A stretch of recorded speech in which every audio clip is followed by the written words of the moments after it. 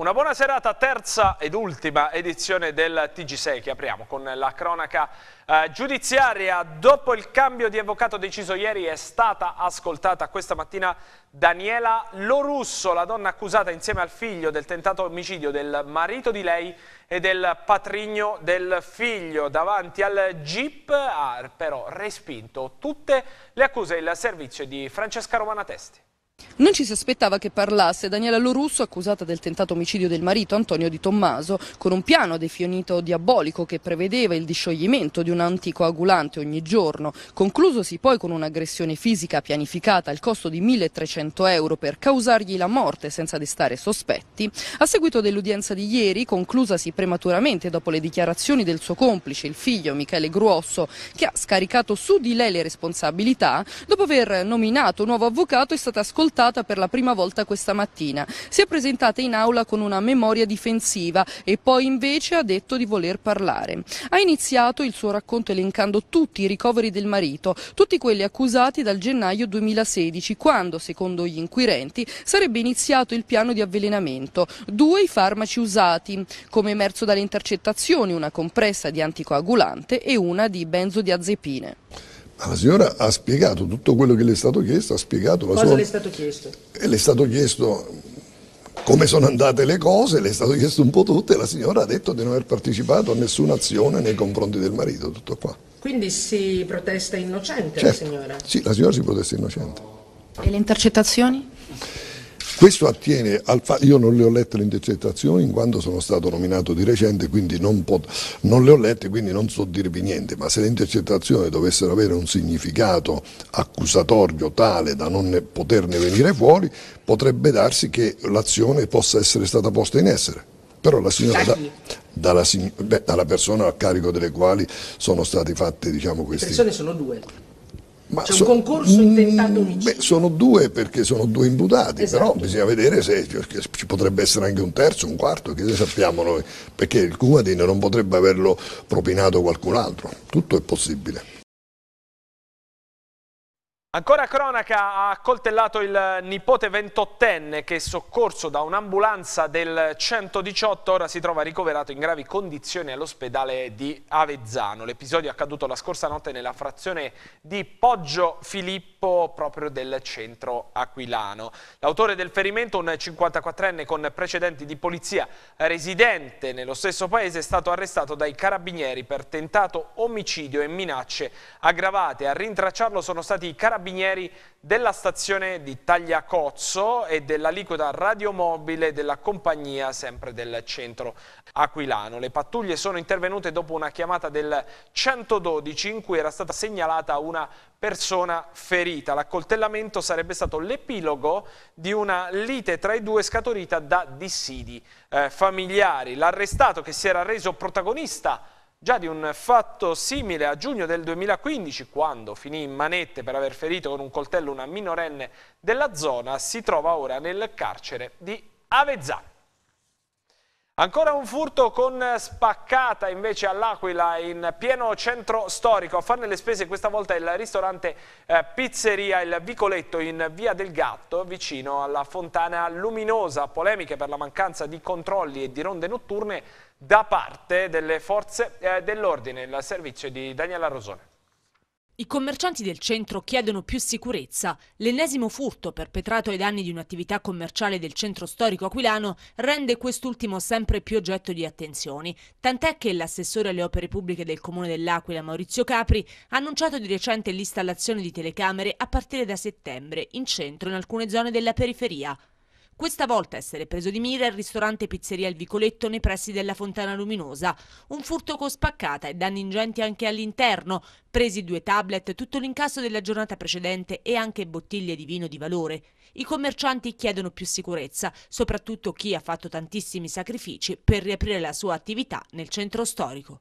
Niente, praticamente siamo stati avvertiti alle di mattina che c'era un buco, c'era un buco alla porta, hanno forzato la serratura, hanno bucato il vetro con il maglione antipanico sono entrati, hanno fatto un po' di danni all'interno, hanno rubato cassa, tablet, quelle che hanno trovato, le cose più spicce diciamo, da recuperare. L'importo non ancora lo stimiamo, comunque il danno c'è, ma più che il danno è la rottura del vetro, il disagio e comunque il rammarico che comunque la sicurezza non ce l'abbiamo. Non ci sentiamo sicuri soprattutto perché comunque la notte qua è un far west. Non ci sentiamo sicuri perché comunque vediamo che di giorno pattuglie per una piccola manifestazione arrivano 100-200 cellerini, invece la notte gira una sola pattuglia, la torna in parte a Monticchio. Serve controllo, serve controllo notturno, serve che il questore, il sindaco metta a disposizione dei cittadini, di chi lavora e dei commercianti qualcuno che gira la notte. Videosorveglianza? Anche videosorveglianza, se serve videosorveglianza, anche videosorveglianza. Furti non solo all'Aquila perché c'è stata una raffica di furti sempre con spaccata ai danni di diverse attività anche del centro di Pescara. I ladri dopo aver rotto le vetrine si sono introdotti all'interno eh, di negozi ed hanno svuotato i registratori di cassa. Gli episodi si sono verificati eh, nella notte, nello specifico in via Roma i malviventi per entrare in una pasticceria hanno scardinato la vetrata e poi si sono impossessati di 170 euro di fondo cassa. In via Trento invece hanno preso di mira un negozio di scarpe per bambini. Prima hanno sfondato la vetrina usando probabilmente uno scooter come ariete una volta dentro sono riusciti a rubare solo circa 10 euro. Ladri in azione anche in una pizzeria di via Cavour hanno sfondato la vetrina ma non hanno trovato soldi. I proprietari delle attività commerciali stanno controllando se siano stati rubati i prodotti conservati nei frigoriferi. In tutti e tre gli episodi i danni sono ingenti. Ad occuparsi delle indagini è la polizia. L'altra notte era stato colpito anche un noto bar di via Chieti. L'Abruzzo perde il 9% in innovazione, il Movimento 5 Stelle sul segno meno in controtendenza con i dati delle altre regioni punta il dito contro le giunte D'Alfonso e Chiodi. Vediamo. A sei anni dall'istituzione dei poli di innovazione, a due anni dall'insediamento del Presidente D'Alfonso, Regione Abruzzo segna un meno 9% in innovazione. Non lo diciamo noi, lo dicono i report di valutazione comparativa eh, della Commissione europea eh, e in, siamo in controtendenza rispetto al resto d'Italia, pensiamo che persino Regione Molise cresce di un più 17%. Noi crediamo che eh, questa sia una responsabilità politica di una mancanza di programmazione, una mancanza di rapporto rapporti con le imprese, di una mancanza di rapporti tra imprese, regione e eh, università, centri di ricerca. Eh, questo, a questo si può ovviare con degli studi specifici che non sono stati commissionati in Regione Abruzzo che potrebbero essere fatti sia internamente da Regione Abruzzo o affidandoli a delle società eh, di consulenza per valutare come sono stati effettivamente eh, utilizzati i fondi, quali risultati hanno portato, che cosa si è sbagliato e che cosa si può invece ripetere, questo per eh, far sì che i fondi europei non diventino come diventano troppo spesso assistenzialismo europeo ma aiutino le imprese a crescere in maniera strutturale. Parliamo anche dell'utilizzo dei fondi 2007-2013, quindi è tutta la politica in generale che non ha programmato e non ha programmato nemmeno una verifica dei risultati. Sotto lo slogan Ribelliamoci, l'associazione vittime del salvabanche scende di nuovo in piazza a Montecitorio. L'associazione nata per difendere i risparmiatori che hanno, nelle, che hanno perso pardon, i soldi investiti nelle quattro banche, Banca Etruria, Banca Marche, Cari Ferrara e Cari Chieti, afferma che le banche italiane sembrano essere scivolate in un precipizio senza eh, possibilità di fermarsi, dove i responsabili amministratori delle banche rimangono impuniti. Banca d'Italia e Consob restano a guardare e il governo che allo sbando si dimostra non all'altezza di gestire la situazione adottando misure casuali di azzeramento dei risparmi, ogni volta in una forma diversa, senza regole certe e senza una seria guida politica.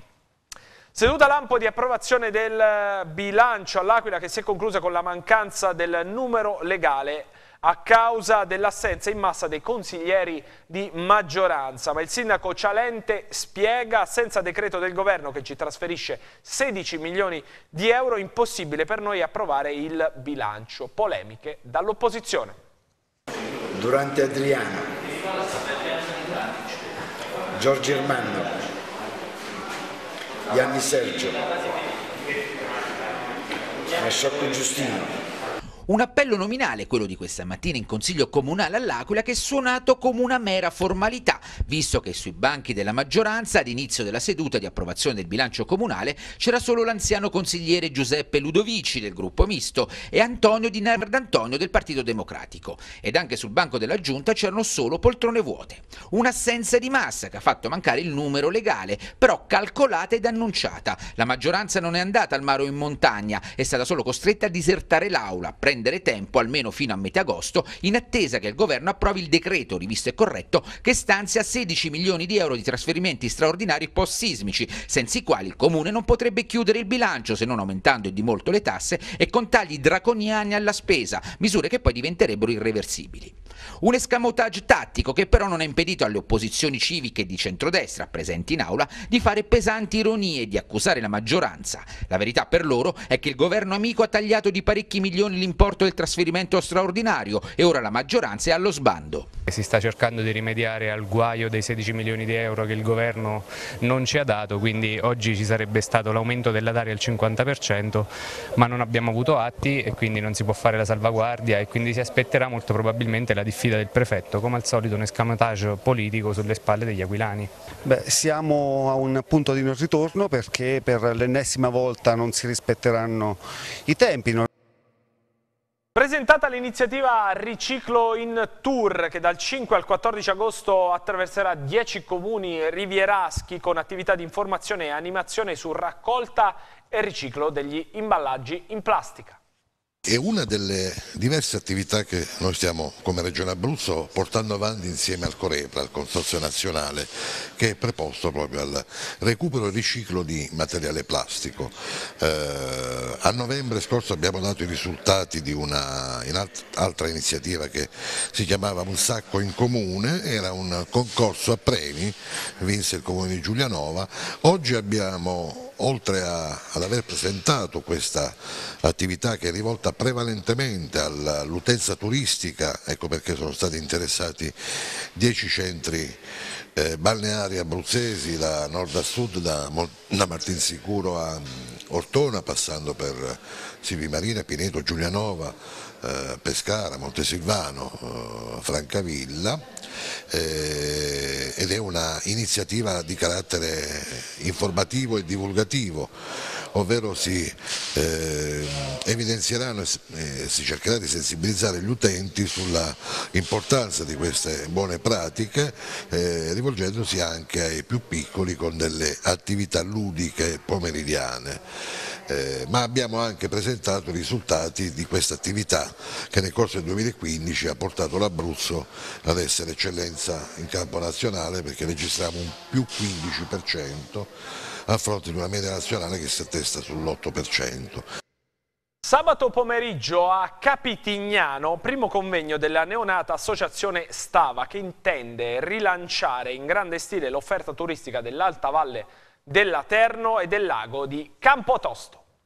Promozione turistica mirata a 360 gradi, anzi anche con le più avanzate tecnologie della realtà virtuale, elevazione della qualità e degli standard dell'ospitalità e dei servizi, creazione di pacchetti turistici integrati e competitivi. Questo si propone l'associazione Stava, composta da professionisti del settore e cittadini che amano e vogliono far conoscere al mondo come merita il loro territorio, ovvero l'Alta Valle della Terno in provincia dell'Aquila, al confine con il Lazio, che si estende dall'incantato lago di Campo Campotosto alle faggete e ai pascoli di Pizzoli, passando per le valli e le montagne incontaminate di Montereale, Cagnano, Capitignano e Barete. Primo step sarà un convegno per la promozione della nuova imprenditoria in programma sabato alle ore 18 a Capitignano, a cui prenderanno parte player di rilievo del settore turistico, tra cui solo per citarne alcuni Massimo Terzuoli, esperto in fondi comunitari, Giacomo Festa, imprenditore sardo a livello internazionale nel settore multimedia, web marketing e tecnologia 3D, Giovanna Prioli, imprenditrice emiliana, che nella Riviera Romagnola opera nel mercato in costante crescita del turismo del benessere. Al nostro microfono Dario Tudini, presidente dell'associazione Stava. Stiamo cercando di dare una mano a tutti i nostri giovani che hanno perso fiducia nella, nella, nostra splendida terra, ma maggiormente stiamo cercando di, di, aiutarli a tirar fuori dal cassetto quelle loro idee che fino ad oggi sono state diciamo, sotterrate da una massa di burocrazia o da eh, diciamo, persone che non credono nel futuro della nostra splendida zona. Eh, sarà il primo convegno, l'argomento principale è illustrare la nostra splendida zona, vedere cosa si può fare e cosa possono fare i nostri giovani. Sì, specialmente col turismo, ma il turismo eh, diciamo, ecologico, eh, fatto di sport, turismo, passeggiate, mountain bike, di tutto, è quello che ci può dare la nostra zona e la vicinanza al parco. Il comune di Castelli ha presentato un cartellone di agosto ricco di eventi, dalla 52esima mostra dell'artigianato ceramico, notti bianche, concerti, gusto e tanto altro.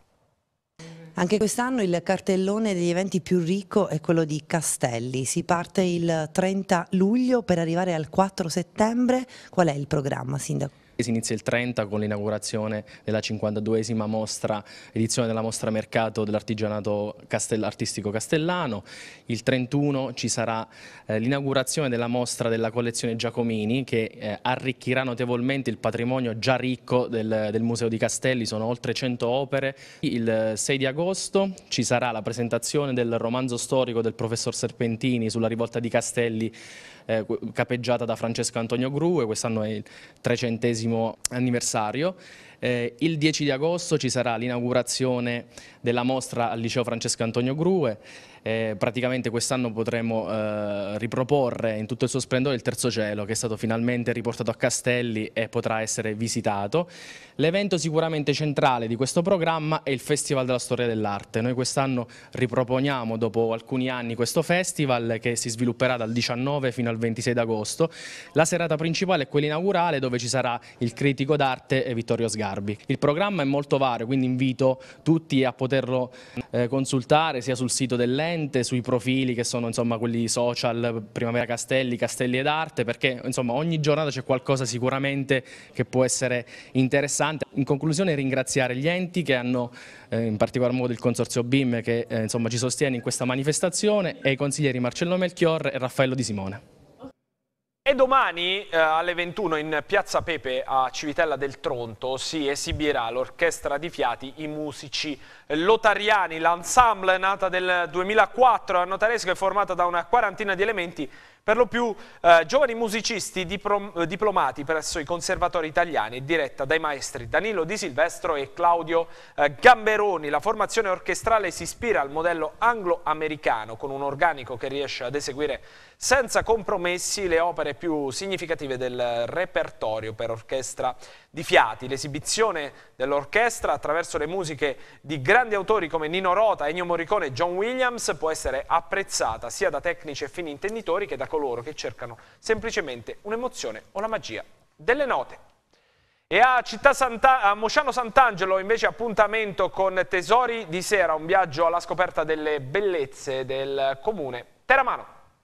Da Montona a Selva Alta, dal centro città al convento dei Sette Fratelli, i tesori del territorio si aprono ai visitatori per raccontare la loro storia. A Mosciano Sant'Angelo, domenica 31 luglio, il comune promuove tesori di sera dalle 19 alle 24 itinerari liberi alla scoperta di beni culturali, paesaggistici e sapori del territorio. Apriremo questi beni in tutto il territorio, quindi da Montone a Mociano Centro, Selva Alta e poi Convento.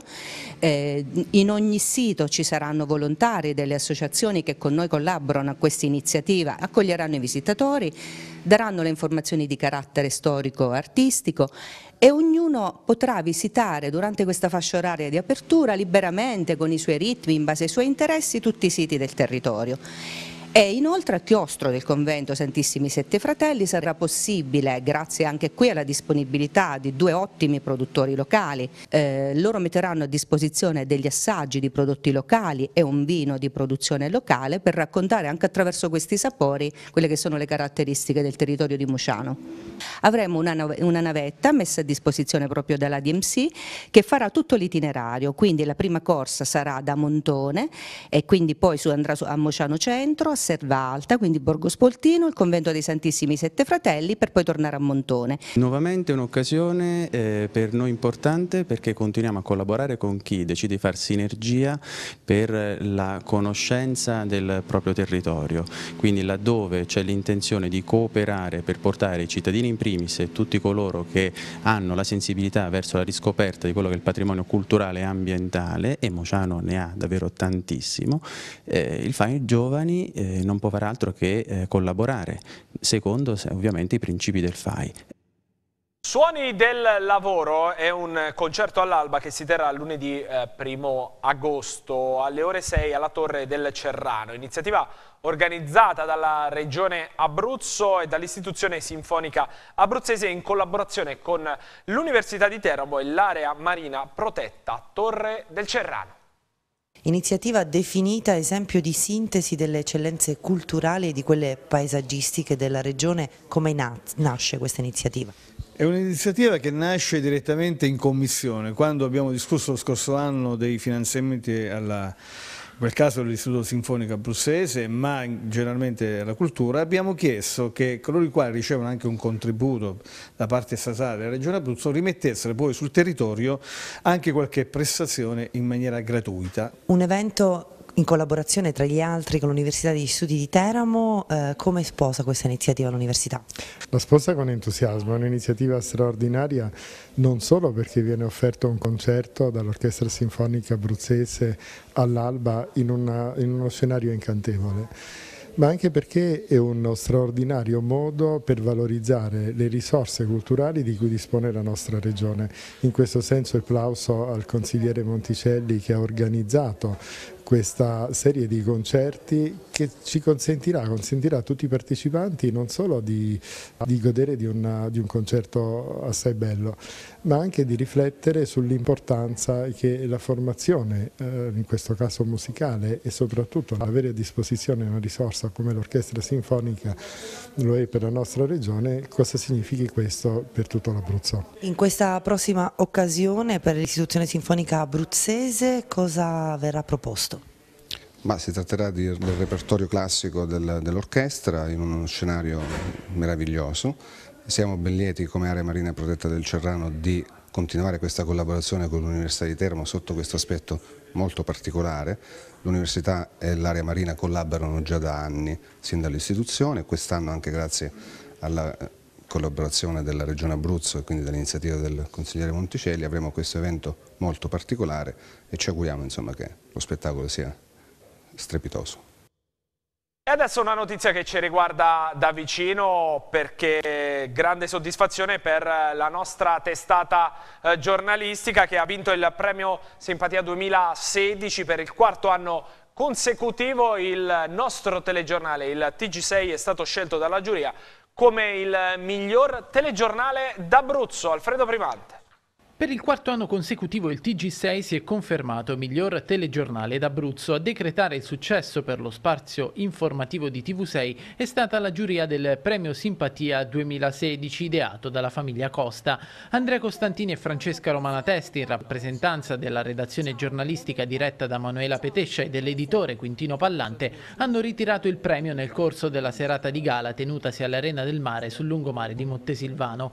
Un riconoscimento, quello del Premio Simpatia, Democrazia, che valorizza il lavoro di gruppo della testata giornalistica che quotidianamente produce 30 minuti di informazione in tre edizioni alle 14, alle 19 e alle 23, a cui si aggiunge dal lunedì al sabato la rassegna stampa mattino 6 a partire dalle ore 7. Oltre al TG6, i riconoscimenti sono andati tra gli altri a Grazia Scucimarra, autrice, attrice e regista teatrale, a Giorgio Repetto, ex direttore sportivo del Pescara Calcio, a Silvia Pagni, autrice, musicista e direttore d'orchestra, e ad Elisa Riccitelli, cantautrice, ultima scoperta di Teddy Reno. Ed è stato proprio Teddy Reno la stella della serata di premiazione, il grande cantante che ha ricevuto il premio alla carriera assieme al critico e storico d'arte internazionale Leo Strozzieri, ha deliziato il pubblico con una breve grande performance. La sussurrerà, la sussurrerà e poi al 16 Ed ora parliamo di sport, ovviamente partiamo con il Pescara che questo pomeriggio in amichevole a Palena, nella terza uscita di stagione ha battuto 5-0 il eh, San Nicolò. Per i biancoazzurri sono andati a segno del sole al quattordicesimo del primo tempo, Verre al ventitreesimo sempre del primo tempo, ancora del sole al trentanovesimo della prima frazione, dunque doppietta per lui, doppietta anche per Nicastro al diciassettesimo e al quarantunesimo del secondo eh, tempo. Pescara che domenica prossima affronterà un'altra formazione di Serie D neopromossa il eh, Pineto e poi il 2 agosto chiuderà eh, il ritiro di Palena. E proprio sul ritiro di Palena abbiamo ascoltato il difensore esterno dei biancoazzurri Francesco Zampano.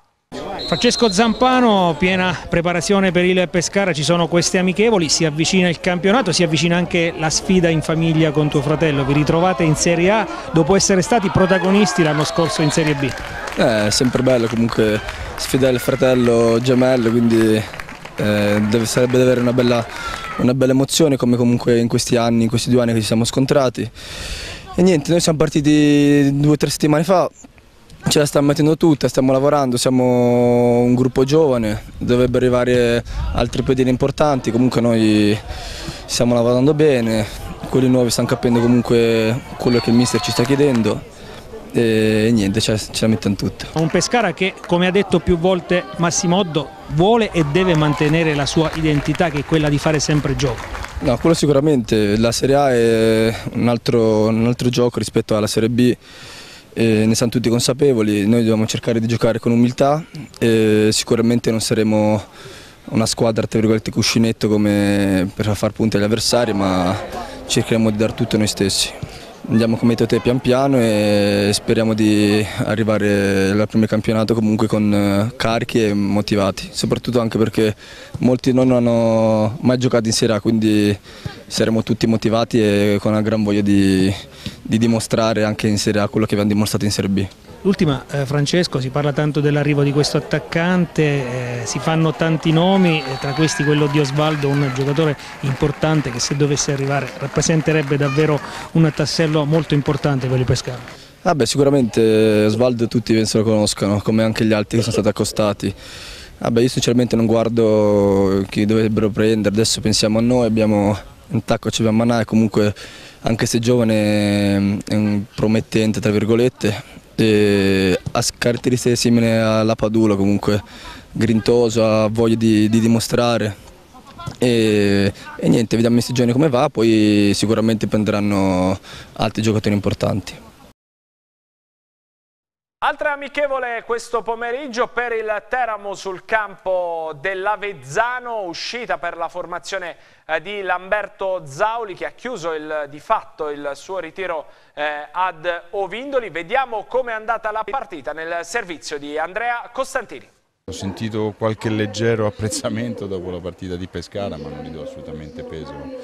Oggi siamo venuti qui a fare un allenamento importante contro una squadra che dà sempre il, il il massimo e infatti è stato difficile, però è stato un buon allenamento, abbiamo cercato di, di fare le nostre cose e quindi questa è la cosa più importante. Non abbiamo subito infortuni e quindi è una crescita assoluta verso quello che sarà il 28 agosto, anche se noi tra tre giorni ci giochiamo già una partita ufficiale contro una delle migliori squadre della Lega Pro. Il fatto che le gambe siano imballate è un buon segnale da un certo punto di vista, si è visto oggi Carraro che ha fatto vedere qualcosina.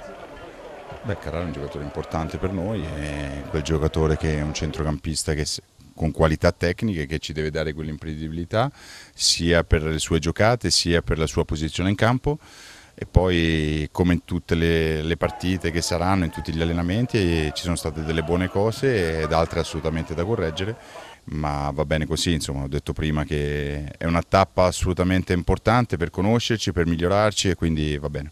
Pino Tortora c'erano tante assenze, squadra al lavoro da tre giorni, però buone indicazioni in questo test. Sì, no, buone indicazioni, noi non ci aggrapperemo alle assenze mai perché fa parte del gioco. Va bene, sì, sono contento, siamo moderatamente soddisfatti, è chiaro che dopo 3-4 giorni, però già ho visto lo spirito della squadra, l'atteggiamento e anche un, una buona organizzazione difensiva, quindi ci fa ben sperare. È un campionato che la Vezzano vuole vivere da protagonista, uh, queste sono le parole del Presidente. Ma eh, se mi dice lei chi dall'Africa alla Svezia non vuole vivere da protagonista e fa questo mestiere. Da, da, da avanguardia, cioè di, di, comunque di eh, buona classifica. Il Presidente dice altre cose, il Presidente dice che lui lo vuole vincere e non va bene mai nel calcio, però diciamo, a parte le battute, noi ci stiamo attrezzando e stiamo lavorando per dare grandi soddisfazioni, dare grandi soddisfazioni. Poi vincere nel calcio è una parola terribile, ok? E gliela lasciamo pronunciare agli altri. Parliamo del Lanciano perché anche giocatori del passato che hanno fatto grande la società frentana si mobilitano per salvare il calcio. L'ex capitano Mammarella e l'ex centravanti Pavoletti hanno postato dei video messaggi sui social network. Prosegue la corsa contro il tempo a Lanciano per trovare un imprenditore o un gruppo di imprenditori che possano garantire le risorse necessarie per l'iscrizione della squadra in Serie D. Il primo passo lo ha fatto il procuratore Donato Di Campli che ha costituito e affiliato una nuova società, la Pro Lanciano. Ancora poco più di una settimana di tempo a disposizione tra contributi, tasse, fideiussioni e altro ancora per ripartire dalla D servirebbe una somma sui 300.000 euro. Con 50.000 euro si ripartirebbe dall'eccellenza, altrimenti la prima categoria. Intanto Intanto si mobilitano alcuni di quei giocatori che negli anni scorsi hanno fatto grande il Lanciano. Da loro l'invito a partecipare all'azionariato popolare, la raccolta fondi presso il conto rossonero acceso ad inizio settimana. Un modo non solo per reperire risorse, ma anche per sensibilizzare forze imprenditoriali a ridare vita ad un progetto calcistico in Frentagna. Queste le parole sui social del bomber della promozione in B, Leonardo Pavoletti, e dell'ex capitano Carlo Mammarella. Ciao, sono qui per invocare il vostro aiuto affinché il Lanciano Calcio possa rinascere e possa tornare ai vecchi, ai vecchi campionati di Serie B come è giusto che debba stare. Quindi mi raccomando, diamo tutti una mano per il Lanciano. Vi abbraccio. Un saluto a tutti i tifosi del Lanciano, so che è un momento difficile per eh, la città, eh, ma so che ci sono delle persone che si sono attivate per cercare di riportare il calcio al Lanciano che è quello che merita. Io cercherò di contribuire e cercherò di far contribuire più persone possibili perché in questo momento è di questo che, che, che si ha bisogno, quindi vi chiedo di partecipare il più possibile perché come sempre l'Unione ha, ha, fatto la forza e quindi anche in questo caso sono sicuro che eh, Lanciano avrà la sua squadra e con il tempo cercherà di tornare dove merita. Un abbraccio a tutti i tifosi. Ed è tutto per questa terza e ultima edizione del nostro telegiornale. Io vi ringrazio per l'attenzione e vi auguro la più cordiale buonanotte.